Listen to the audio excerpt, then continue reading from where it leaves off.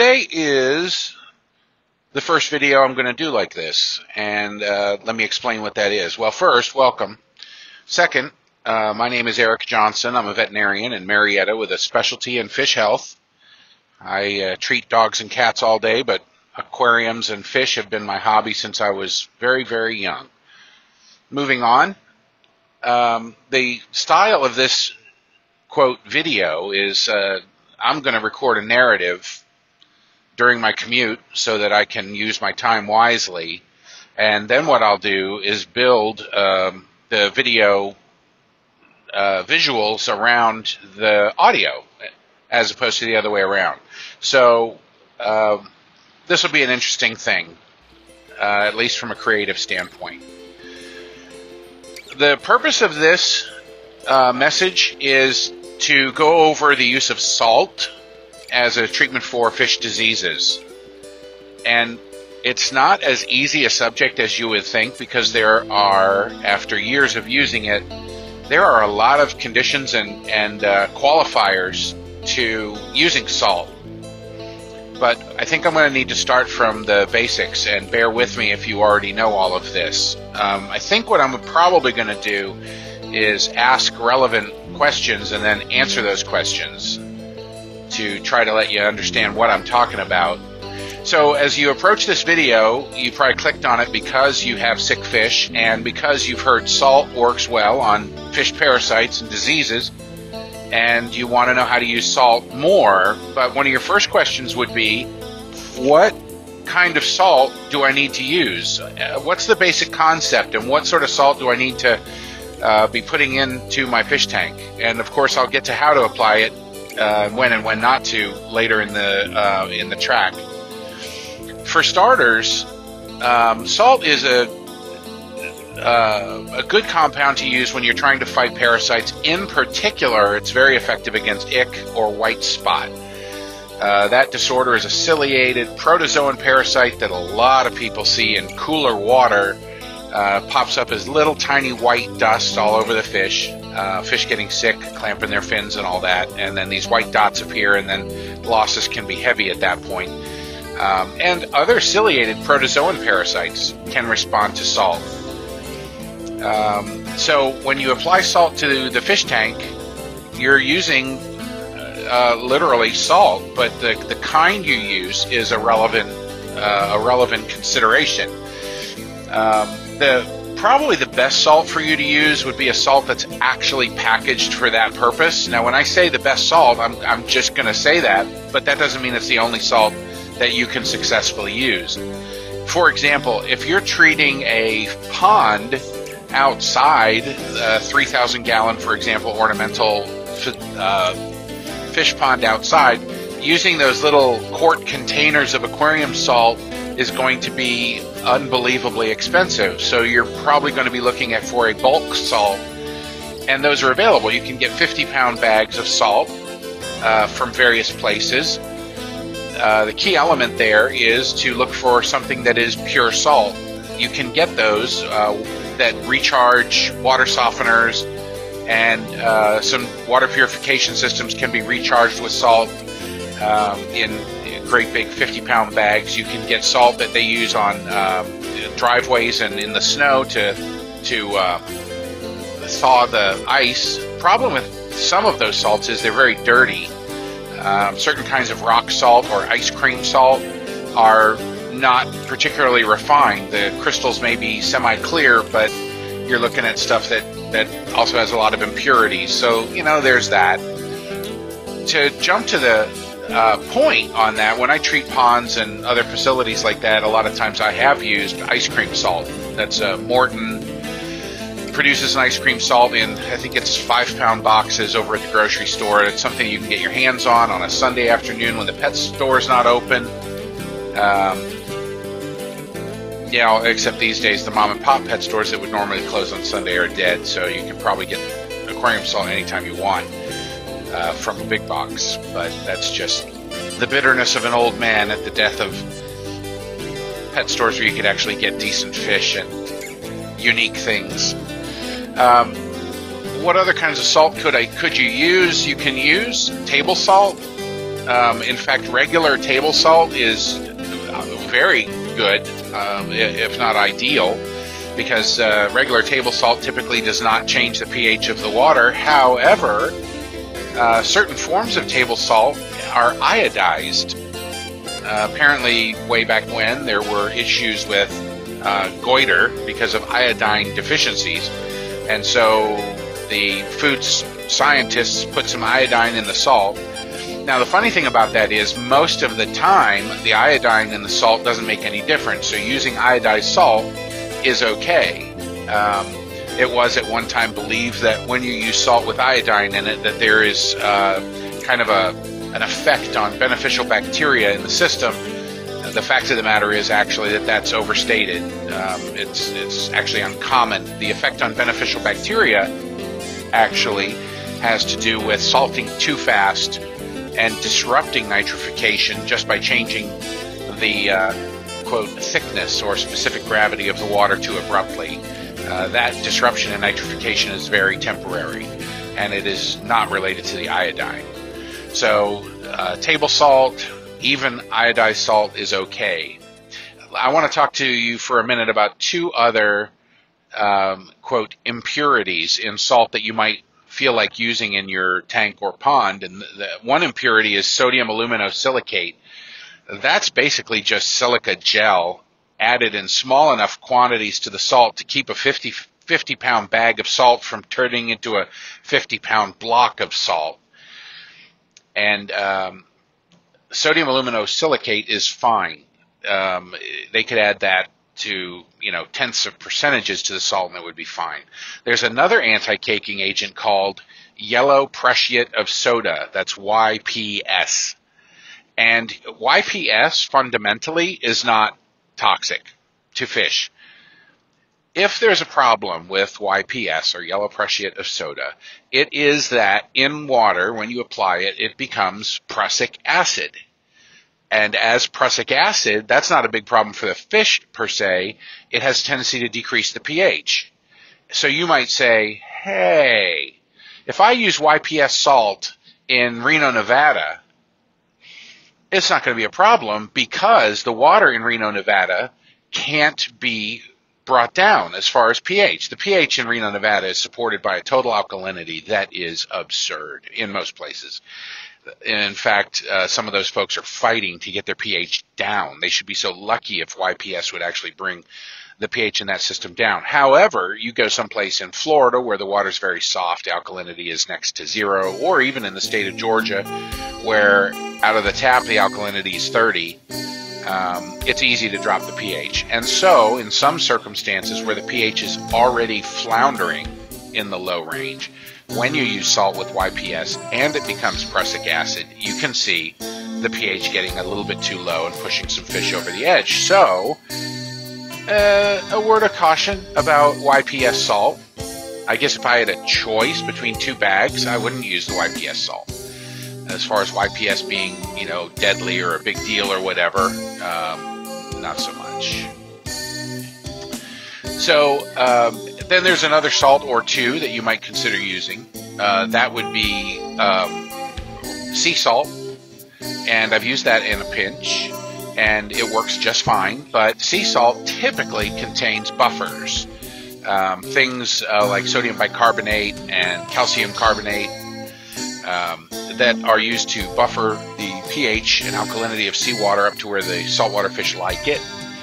And um, in most circumstances, the fish don't care because you're adding it to a freshwater environment where the pH is about neutral and the amount of salt that you're going to add is nowhere near, in fact, one third the strength of salt water. So you're not really buffering the pH up to saltwater pH.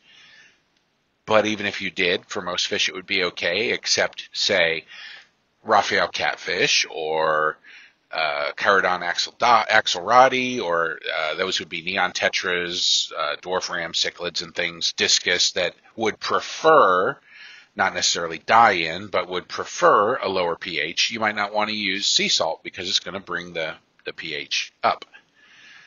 So if you're getting my drift, really, the salt that you might want to use would be something like dirty rock salt or aquarium salt if you can afford to, or Water softener salt, as long as it's 99% pure or just has sodium aluminosilicate in it, and hopefully uh, I'll be backing all of this up with videos.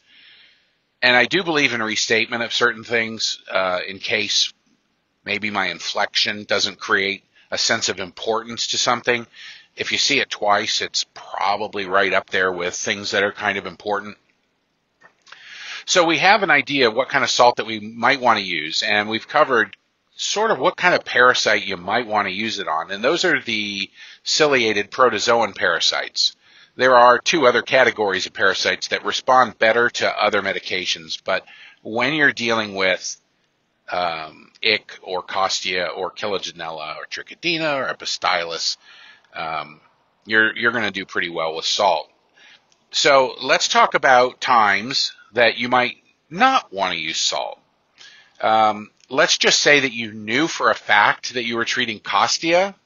Let's just say that maybe you had um, a microscope and you had biopsied and found costia conclusively, and you wanted to make sure that you got rid of the costia. I would reach for a product called Mardel's Clout, C L O U T, for costia if I knew that I had that or even formalin malachite because if you use salt, there is a chance that the costia isn't going to clear, and then you're wasting valuable time treating with salt and then find, realizing two days later that that particular strain of costia isn't going to respond. And In the meantime, you've lost fish because costia is a hot fish killer.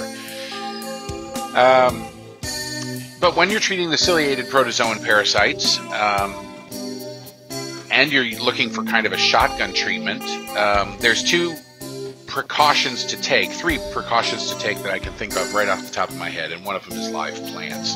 Uh, if you're one of those people like me who uh, appreciates the beauty and the function as a nitrate reducer of live plants, you're going to be sorry to hear that salt at the dosages that need to be used to kill ick and uh, Chilodonella and Trichodina are too high for a lot of your freshwater plants. So uh, therein lies one of the major problems, and that is that you might have to remove the plants from the system if you decided you're still going to use the salt. Must use salt. Personally, I would use something different than salt if I had live plants, uh, perhaps reaching back to clout again. Um, but if you're going to use salt because it's available, you need it today, and you can go to the grocery store and get five pounds of salt for ice cream making, and you're going to use that um, then you, are going to want to know that you're going to uh, kill your plants in all probability. So if you pull the plants out, they still need to be treated with something. Um, because certain parasites, for example, Costia, can resist drying. So even if you took the live plants out and said, I'm just going to lay them here in this newspaper, uh, they're going to take a hit because they're sort of drying out, will keep them damp. Well, that's just going to keep a lot of the parasites around. Um, so, anyway, long and the short of it is be careful of salt around live plants. Maybe think of something else to use. Uh, another condition is let's just say that whatever you're treating as far as a parasite is concerned, and you've ruled out pH and ammonia and all that other stuff. But let's just say the parasite that you're treating is causing a lot of respiratory issues. Fish are piping at the surface. Uh, of course, you would increase aeration with another air stone and kind of tumble the water a little bit, but it might not be quite enough to oxygenate for those damaged gills. So these fish are piping at the surface, and then you add salt. Here's the problem. When you add salt, it causes the fish's gills to slime up a little bit more.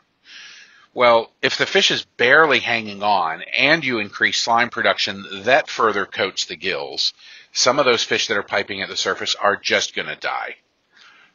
Which you might say, well, they're all going to die if I don't salt them up. And that's not an illogical thought. So just be aware that if a fish is a gasper and you go with aggressive salt therapy, you might slime them up just enough more to push them over the edge. Some of them. So you might say, well, what do I do about that? And I I would just increase aeration and get the water temperature down a degree or two in order to uh, facilitate oxygen transfer and hope. Um, the third time that you um, might be hesitant to salt would be what are you going to do with the water? Um, and this is one of the reasons I seldom, if ever, use salt in my larger fish tanks, is because unless I can discharge that water someplace safe uh, from my lawn or a tree or plant in my yard, um, like if I can discharge it through a, a snake to uh, the toilet or the shower drain, then I might use salt. But when you use salt, you, you have this crusty water um, to get rid of at the conclusion of the salt uh, treatment. And, you know, for you with a 10 or 20 or 30, maybe even a 55 gallon tank, you might be like, yeah, whatever, that's no big deal. In which case, just pass it up. But some people are treating facilities that are 1,000, 2,000, 3,000 gallon ornamental ponds in their yard, and uh, you have to think about what you're going to do with that water once you've salted it up, because it will kill grass uh, for better or worse. Um, so those would be kind of the three different reasons I might hesitate to use salt. Somebody might say, "Oh, whoa, wait a minute. What about the the fish that can't handle salt?" Um, they exist. There was a rumor that uh, the wild-caught Brochis britskii corydoras catfish uh, from South America could not handle salt. Um, uh, that's kind of a thing because anymore, um, a lot of britskii come from captivity and have been adapted to some of the conditions of, of captivity and can handle the salt. Uh, and I've never tried salt on wild caught britskii because I love that species, and I am not killing them because when they are wild caught, they're often $11 each or more. Um, so you, you hear what I'm saying? So in the book, for example, there's a list of uh, fish that could very well be sensitive to salt, and then there's species I'm sure that I haven't tried it on that are. I would figure soft water fish, uh, deep Amazon, especially wild caught fish that pretty much have never seen a sodium ion in their damn life, um, probably would have a problem with salt. So, but you know, I think by the time you're keeping uh, South American, you know, deep Amazon biotope fish like that, you're probably beyond the level of having put a parasite fish in your tank without a quarantine. So I don't know who I'm talking to with the advice to be careful of soft water South American fish. Um, lots of other fish actually thrive in salt. I don't know if you're aware, but one of the reasons that uh, some people have trouble keeping platies alive is because platies like a saltier alkaline water and do a lot better with just a pinch of salt in the water all the time. Um, any of the Poecilia species, Xiphophorus, any of those guys uh, like a little bit of salt in the water, do better. Sailfin mollies, you know, some people really love those marble sailfin and gold sailfin mollies. Wonder why they have such a hard time keeping them around. Well, if you can give them good water quality with a pinch of salt and a little alkalinity, those fish thrive and they get pretty big so backtracking, um, those would be the reasons to hesitate to use salt. And uh, some of the species, you know, you just have to be careful. If you have any experience in that regard, it wouldn't be a bad idea to leave some comments below this video. I will uh, approve those and, and, let them go through for the benefit of others. Um, so we've talked about why you'd use salt. We've talked about when you wouldn't use salt. We talked about the kind of salt that you might use uh, some of the precautions about using it, sliming up the fish, killing your plants and certain species. Um, let's talk about exactly how to use salt. Uh, this video isn't going to talk about salt dips for freshwater fish because frankly, I don't like salt dips for freshwater fish. That's basically making a solution of 3% salt, which is approximating water from a saltwater tank. And now that's not to say I haven't used a saltwater tank for freshwater dips, because I have, because they were convenient. And if you know when to pull the fish out, it can be successful. But saltwater dips usually are too short to kill certain of the ciliates.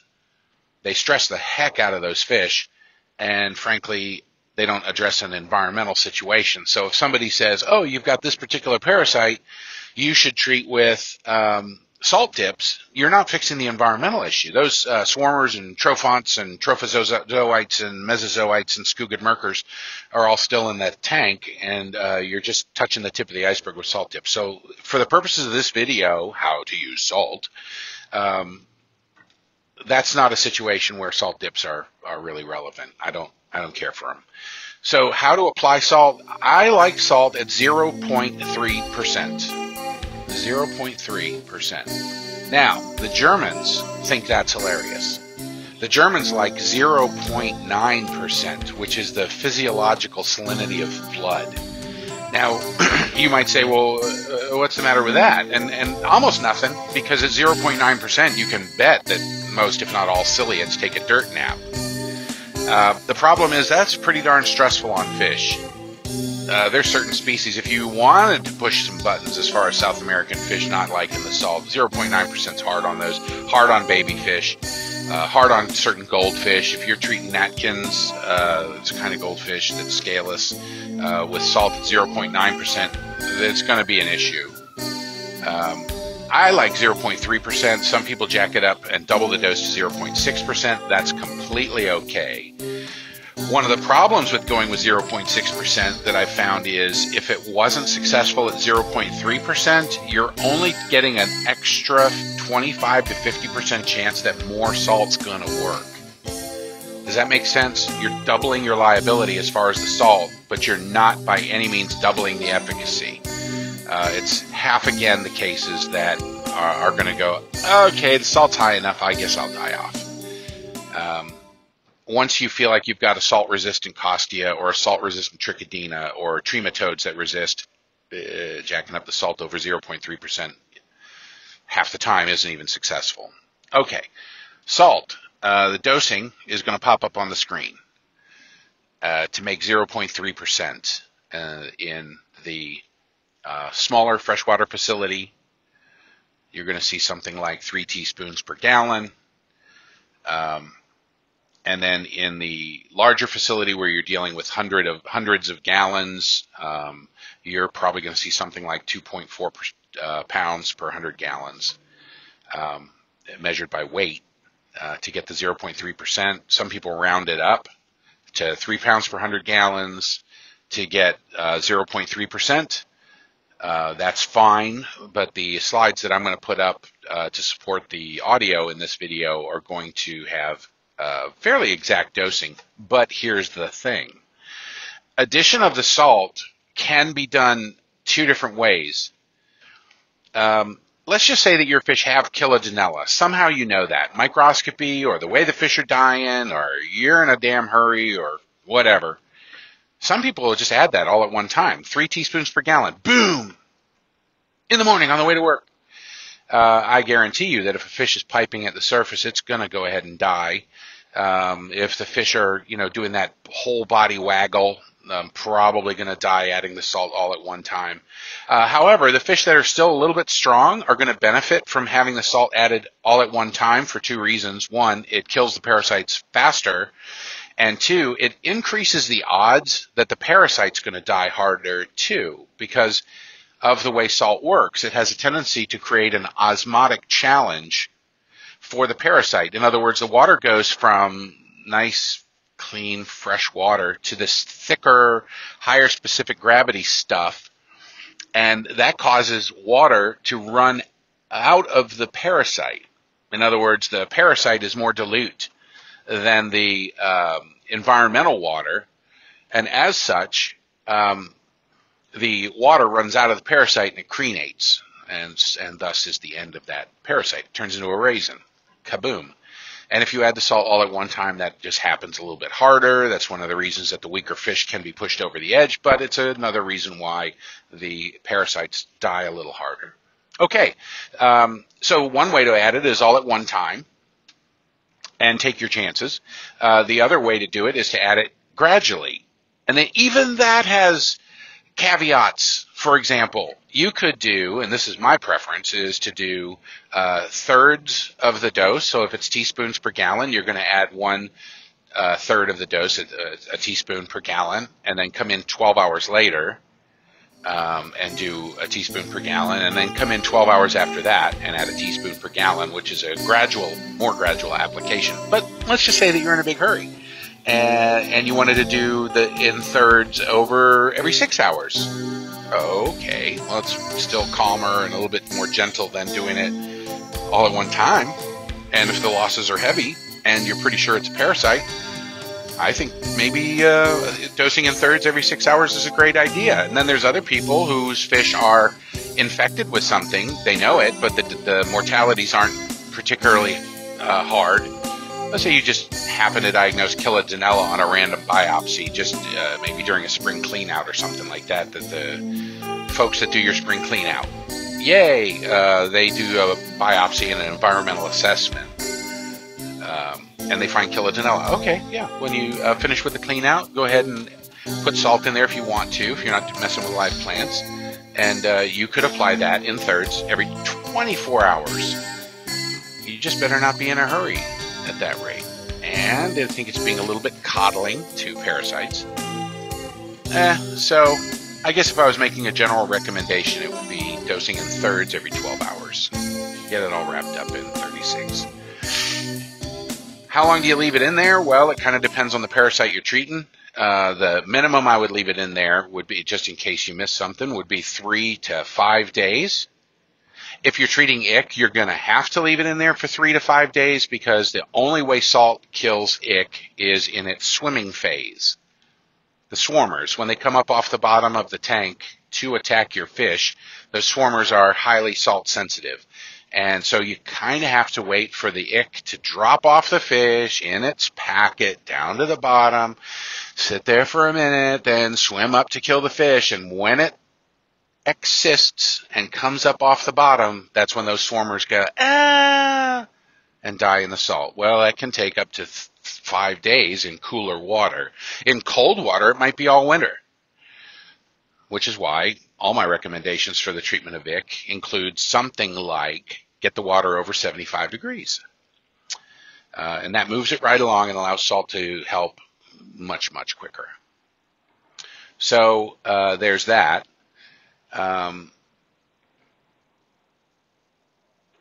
thirds over time, leaving it in there three to five days doing a micro- microscopic biopsy, a little uh, skin scrape. I might just upload a video of how to take a skin scrape. Not that you're going to be doing that this week, but uh, hopefully, if you hang around my channel long enough, you'll be exposed to videos of like how to buy a microscope and and uh, tutorials on how to use a microscope and you know it's it's easier than you'd think. I've never encountered somebody who was befuddled by using a microscope with proper instructions, showing them exactly what to do. The parasites look different enough that you should be able to identify them with much without much problem. Um, no two of the parasites of tropical fish look very much the same, and if you're looking for practice fish, you can go buy feeders almost anywhere. Uh, some pet stores uh, in the big boxes, some of those don't use salt in their retail tanks at all. Um, no prophylaxis whatsoever, and so you can find some pretty good parasites at the different big boxes uh, for study. If you want to, uh, and this is you know this is one of those times that you might want to have a pen and paper handy because this is a little tidbit that you might not know. If you want to find all seven parasites on the fish for study, uh, the best ones to get are going to be those little top minnows that you find in natural bodies of water. You know those little uh, what do they call it? Mosquito fish those little guys are very hardy. They're used to these parasites after all of these years in the wild, and uh, lots of times you net those little guys up, and you can find a, a plethora, a cornucopia of parasites for the win. Um, sometimes this is so frustrating about trichodina, for example. Again, don't you wish you had a pen and paper handy? Sometimes with trichodina, you'll collect some diseased fish for a fish health course and you'll put those fish in some clean water in a holding facility, no treatment, no salt, and you put those in some clean water, and overnight the trichodina takes a dirt nap just because it prefers organically rich, high background pollution, high CO2, high dissolved proteins. Just basically, they uh, trichodina likes crappy water so much that when you bring some fish in for a fish health class, if you keep them around too long in clean water, those parasites will, will go away too. I think that's pretty interesting. Um, a lot of times you'll have a fish health class and all you'll find is flukes because those guys, man, they want to stay. They really want to stay. Uh, sometimes you'll find ick because it hasn't gotten off the host yet. Um, And then, of course, if you've got fish from the wild, especially fresh out of the wild, we used to get some out of Rye Patch in uh, Reno, Nevada. Those fish were usually pretty rich if you didn't hold them too long with parasites. Uh, I've been lucky with um, if you can go to a pet store that does not salt their mollies, uh, those are hot um, because mollies without any salt in the water are usually pretty stressed and uh, vulnerable to infections. And of course, also without salt in the water, the ciliates have no reason to back down. And so, uh, black mollies from stores that don't salt are great for um, fish to biopsy. But hey, I'm off the subject of salting and how to use salt. Let's recap. Um, we talked about ciliates, the reason you'd use it, one or two of the ciliates and parasites that's not going to respond to salt, that increasing the salt at that point to 0.6% only has a half a chance to improve the results. Um, we talked about a couple times, and you might not want to use salt, including what are you going to do with the discharge water. Um, we talked about uh, live plants as being an issue. We talked about the kinds of salt to use, which salts matter and which salts don't really matter, what some of the impurities might be intentionally, uh, possibly what some of the impurities might not intentionally be, like dirty ice cream salt can have literally sand and dirt in it, rocks, which aren't necessarily a problem. We talked about how actually to apply the salt. Sorry I waited to the end of the video to tell you about that, but uh, dosing in thirds is a smart idea. Um, you probably got that. And leaving it in for three to five days, uh, shorter for 78 degree water and much longer for very cold water. And um, if I've forgotten something, I'm going to have to shoot a little extra video or add it to some slides at the end. Because I think we've successfully covered salt. And I think this video is going to be pretty good. I appreciate you visiting if there's something I forgot or some experience that you've had relative to salt that you'd like to share with other aquarists, I would really appreciate it if you'd put it in the comments below.